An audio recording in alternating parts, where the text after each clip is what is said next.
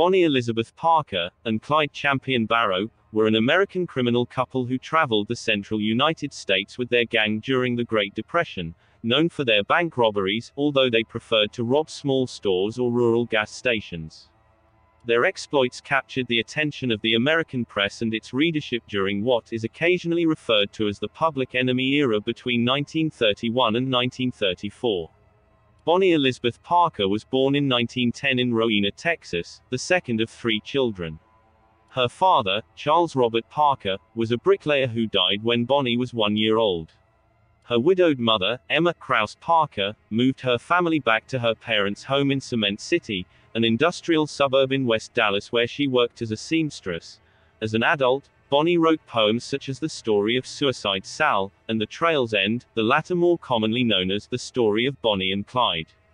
In her second year in high school, Parker met Roy Thornton. The couple dropped out of school and married on September 25, 1926, six days before her 16th birthday, their marriage was marred by his frequent absences and brushes with the law, and it proved to be short-lived. They never divorced, but their paths never crossed again after January 1929. She was still wearing his wedding ring when she died. Parker briefly kept a diary early in 1929 when she was 18, in which she wrote of her loneliness, her impatience with life in Dallas, and her love of taking pictures.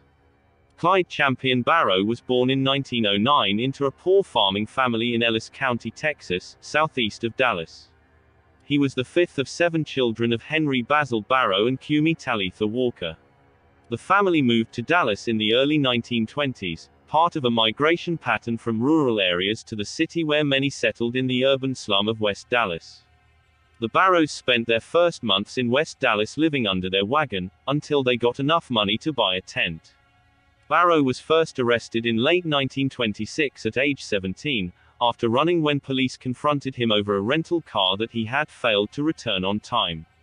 His second arrest was with his brother Buck soon after for possession of stolen turkeys. Barrow had some legitimate jobs during 1927 through 1929, but he also cracked safes, robbed stores, and stole cars. He met 19-year-old Bonnie Parker through a mutual friend in January 1930. Several accounts describe Bonnie Parker and Clyde Barrow's first meeting. The most credible states that they met on January 5, 1930 at the home of Barrow's friend Clarence Clay at 105 Herbert Street, in the neighborhood of West Dallas. Barrow was 20 years old, and Parker was 19. Parker was out of work and staying with a female friend to assist her during her recovery from a broken arm. Barrow dropped by the girl's house while Parker was in the kitchen making hot chocolate. Both were smitten immediately. Most historians believe that Parker joined Barrow because she had fallen in love with him. Their romance was interrupted when Barrow was arrested and convicted of auto theft. Barrow was sent to Eastham Prison Farm, in April 1930 at the age of 21. He escaped from the prison farm shortly after his incarceration, using a weapon Parker smuggled to him. He was recaptured shortly after and sent back to prison. Barrow was repeatedly sexually assaulted while in prison, and he retaliated by attacking and killing his tormentor with a pipe, crushing his skull. This was his first killing. Another inmate, who was already serving a life sentence, claimed responsibility.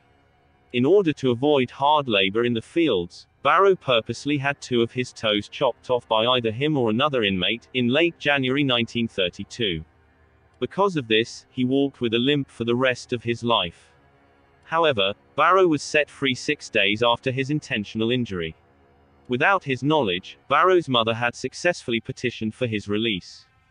He was paroled on February 2, 1932 from Eastham as a hardened and bitter criminal. His sister Marie said, something awful sure must have happened to him in prison, because he wasn't the same person when he got out.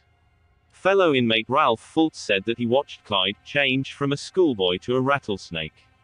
In his post-Eastham career, Barrow robbed grocery stores and gas stations at a rate far outpacing the 10 or so bank robberies attributed to him and the Barrow gang. His favorite weapon was the M1918 Browning automatic rifle. According to John Neal Phillips, Barrow's goal in life was not to gain fame or fortune from robbing banks, but to seek revenge against the Texas prison system for the abuses that he suffered while serving time. After Barrow's release from prison in February 1932, he and Fultz began a series of robberies, primarily of stores and gas stations. The goal was to collect enough money and firepower to launch a raid against Eastham Prison. On April 19, Parker and Fultz were captured in a failed hardware store burglary in Kaufman, in which they had intended to steal firearms. Parker was released from jail in a few months. After the grand jury failed to indict her, Fultz was tried, convicted, and served time. He never rejoined the gang. On April 30, Barrow was the getaway driver in a robbery in Hillsboro during which store owner J. N. Butcher was shot and killed. Butcher's wife identified Barrow from police photographs as one of the shooters, although he had stayed inside in the car. Parker wrote poetry to pass the time in jail. She reunited with Barrow within a few weeks of her release from the Kaufman County Jail. On August 5, Barrow, Raymond Hamilton and Ross Dyer were drinking moonshine at a country dance in Stringtown, Oklahoma, when Sheriff C.G. Maxwell and Deputy Eugene. Moore approached them in the parking lot. Barrow and Hamilton opened fire, killing Moore and gravely wounding Maxwell. Moore was the first law officer that Barrow and his gang had killed. On October 11, they allegedly killed Howard Hall at his store during a robbery in Sherman, Texas, though some historians consider this unlikely. W.D. Jones joined Parker and Barrow on Christmas Eve 1932 at the age of 16, and the three left Dallas that night. He had been a friend of Barrow's family since childhood. The next day, Christmas Day of that year, Jones and Barrow murdered Doyle Johnson, a young family man, while stealing his car in Temple. Barrow killed Tarrant County Deputy Malcolm Davis on January 6, 1933 when he, Parker, and Jones wandered into a police trap set for another criminal. The gang had murdered five people since April. On March 22, 1933, Clyde's brother Buck was granted a full pardon and released from prison, and he and his wife Blanche set up housekeeping with Bonnie, Clyde and Jones in a temporary hideout at 3347 and a half Oak Ridge Drive in Joplin, Missouri. According to family sources, Buck and Blanche were there to visit, they attempted to persuade Clyde to surrender to law enforcement. The group ran loud, alcohol-fueled card games late into the night in the quiet neighborhood. Blanche recalled that they bought a case of beer a day. The men came and went noisily at all hours, and Clyde accidentally fired a bar in the apartment while cleaning it. No neighbors went to the house, but one reported suspicions to the Joplin Police Department. The police assembled a five-man force in two cars on April 13 to confront what they suspected were bootleggers living in the garage apartment. The Barrow brothers and Jones opened fire, killing Detective Harry L. McGinnis outright and fatally wounding Constable J.W. Harryman. Parker opened fire as the others fled, forcing Highway Patrol Sergeant G.B. Kahler to duck behind a large oak tree. The 30 caliber bullets struck the tree and forced wood splinters into the sergeant's face. Parker got into the car with the others, and they pulled in Blanche from the street where she was pursuing her dog Snowball. The surviving officers later testified that they had fired only 14 rounds in the conflict, one hit Jones on the side, one struck Clyde but was deflected by his suit coat button, and one grazed Buck after ricocheting off a wall. The group escaped the police at Joplin, but left behind most of their possessions at the apartment, including Buck's parole papers that were three weeks old, a large arsenal of weapons, a handwritten poem by Bonnie, and a camera with several rolls of undeveloped film. Police developed the film at the Joplin Globe and found many photos of Barrow, Parker, and Jones posing and pointing weapons at one another. The Globe sent the poem and the photos over the newswire, including a photo of Parker clenching a cigar in her teeth and a pistol in her hand, and the gang of criminals became front page news throughout America as the Barrow Gang. The group ranged from Texas as far north as Minnesota for the next three months. In May, they tried to rob the bank in Lucerne, Indiana, and robbed the bank in Okabena, Minnesota. They kidnapped Dillard Darby and Sophia Stone at Ruston, Louisiana, in the course of stealing Darby's car. This was one of several events between 1932 and 1934 in which they kidnapped police officers or robbery victims. They usually released their hostages far from home, sometimes with money to help them return home. Stories of such encounters made headlines, as did the more violent episodes. The Barrow gang did not hesitate to shoot anyone who got in their way, whether it was a police officer or an innocent civilian. Other members of the Barrow gang who committed murder included Hamilton, Jones, Buck, and Henry Methvin. Eventually, the cold-bloodedness of their murders opened the public's eyes to the reality of their crimes, and led to their ends. The photos entertained the public for a time, but the gang was desperate and discontented, as described by Blanche in her account written while imprisoned in the late 1930s. With their new notoriety, the daily lives became more difficult, as they tried to evade discovery. Restaurants and motels became less secure, they resorted to campfire cooking and bathing in cold streams. The unrelieved, round the clock proximity of five people in one car gave rise to vicious bickering.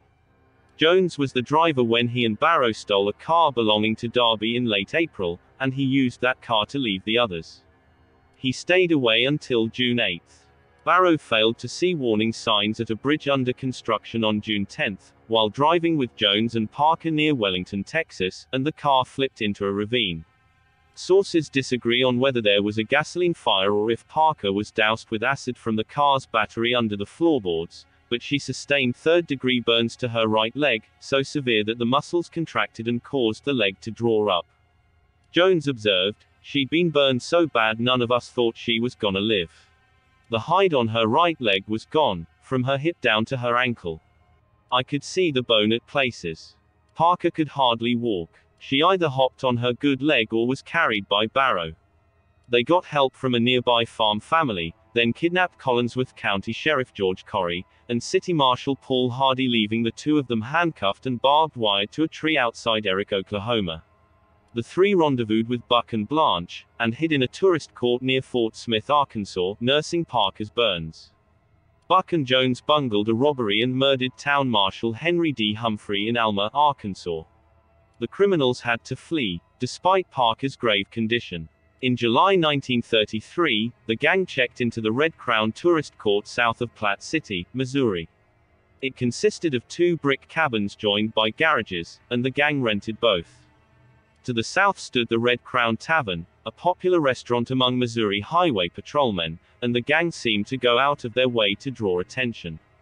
Blanche registered the party as three guests, but owner Neil Hauser could see five people getting out of the car. He noted that the driver backed into the garage, gangster style, for a quick getaway. Blanche paid for their cabins with coins rather than bills, and did the same later when buying five dinners and five beers.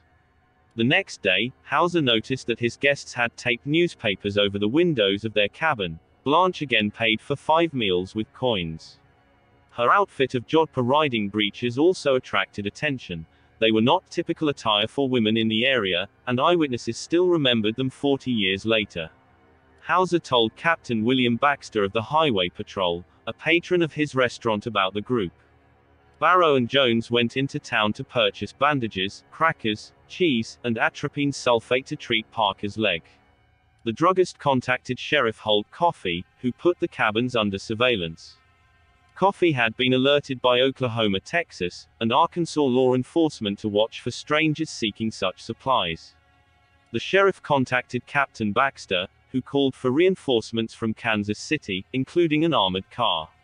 Sheriff Coffey led a group of officers toward the cabins at 11 p.m., armed with Thompson submachine guns. In the gunfight which ensued, the 45 caliber Thompsons proved no match for Barrow's 30 caliber bar, stolen on July 7 from the National Guard Armory at Enid, Oklahoma. The gang escaped when a bullet short-circuited the horn on the armored car and the police officers mistook it for a ceasefire signal. They did not pursue the retreating Barrow vehicle.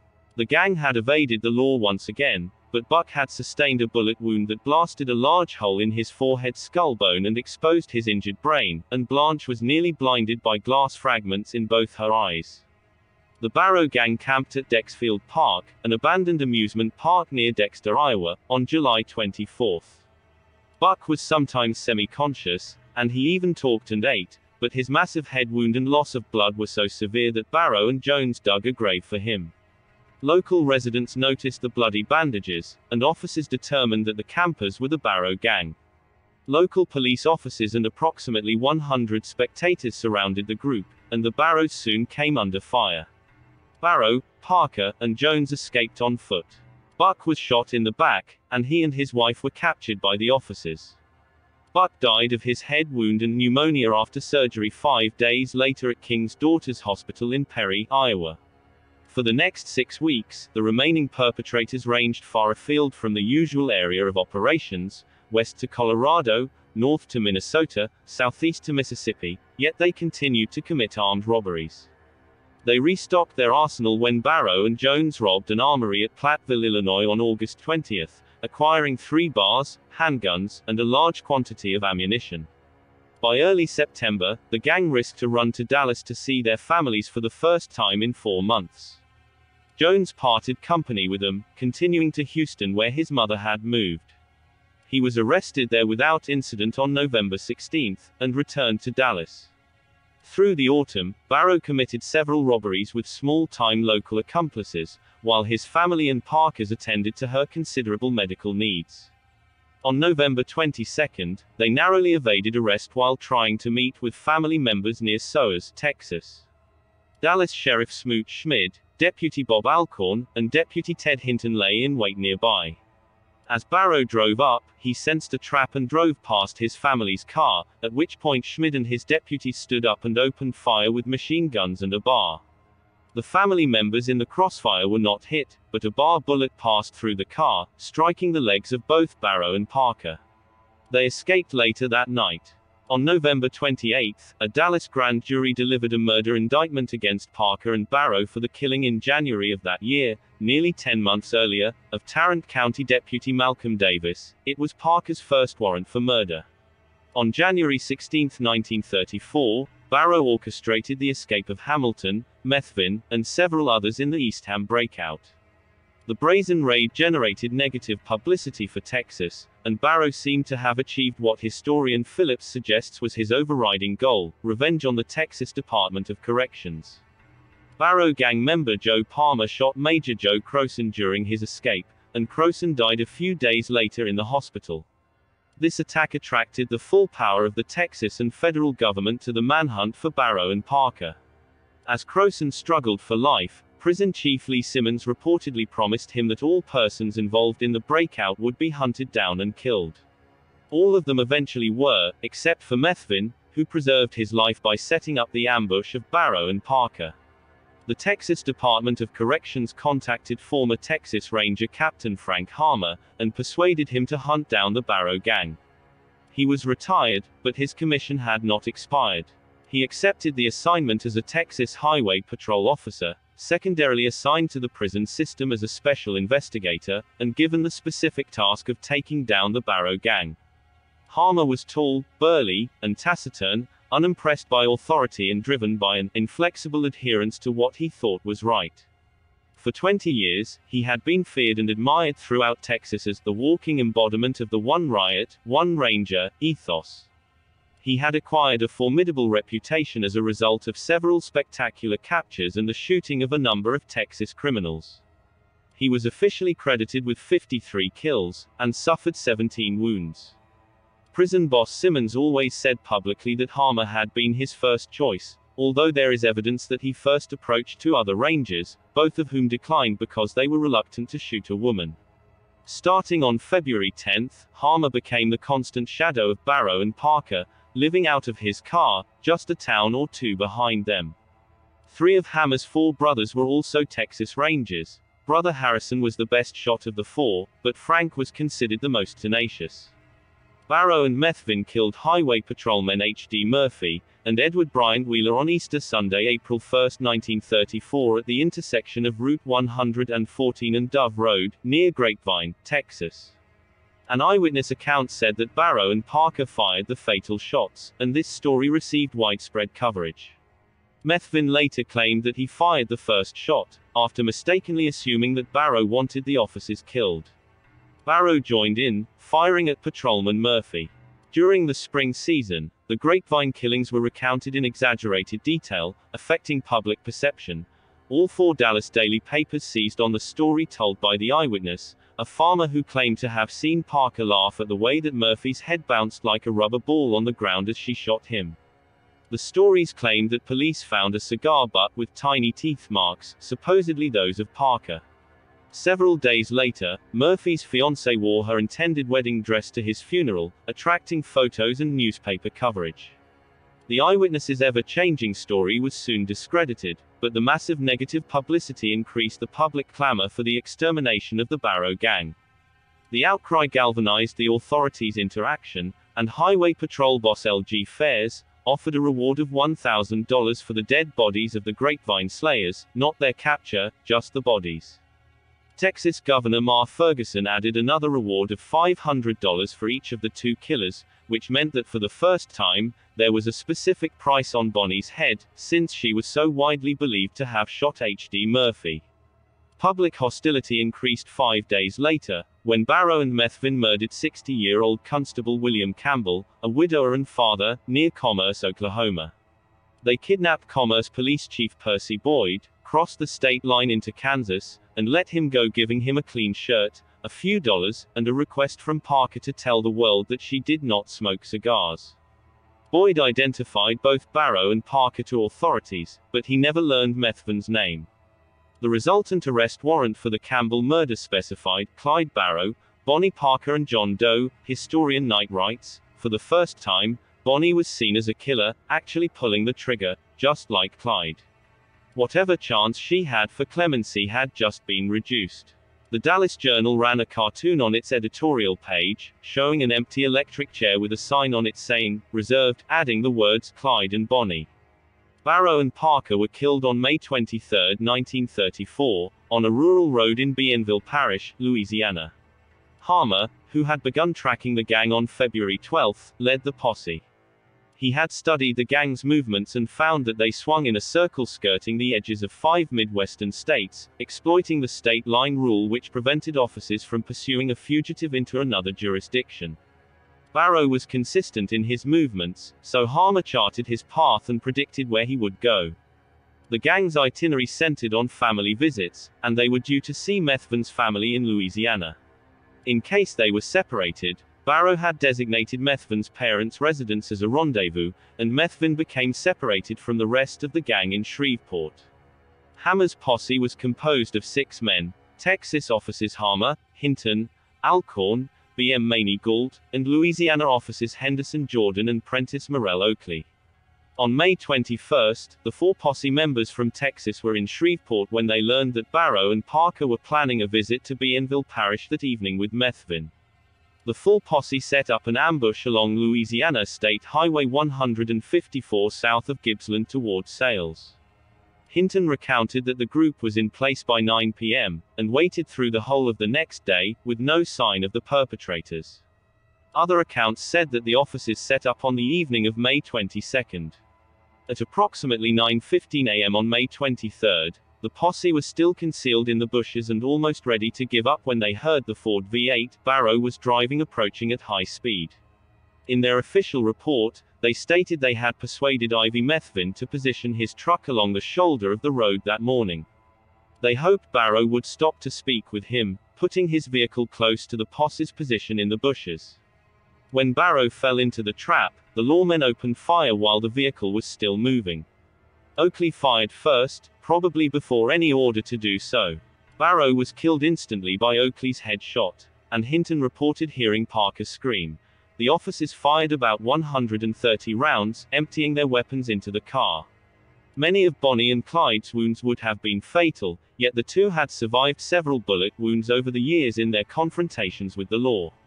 The bullet-ridden deluxe, originally owned by Ruth Warren of Topeka, Kansas, was later exhibited at carnivals and fairs then sold as a collector's item. In 1988, the Primm Valley Resort and Casino in Las Vegas purchased it for some $250,000.